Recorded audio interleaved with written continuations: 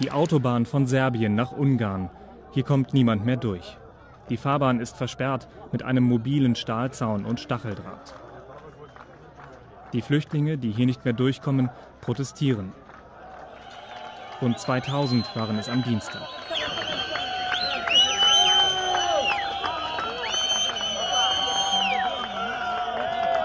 Auf der anderen Seite Stille.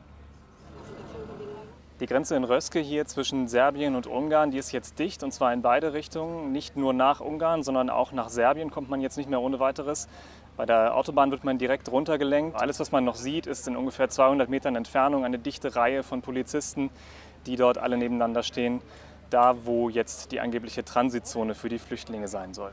Am ungarischen Grenzzaun patrouillieren bewaffnete Soldaten und Polizisten.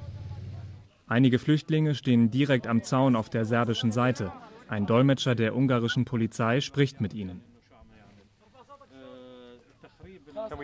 Wir versuchen mit ihm zu reden. Can, you just tell us what you told them? Uh, I told them to uh, keep the rules and uh, to get away from uh, the fence. What are the rules?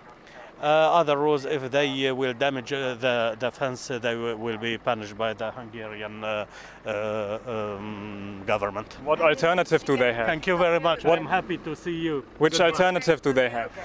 Mm, I don't know. I'm not um, a lawyer. Thank you very much. Goodbye.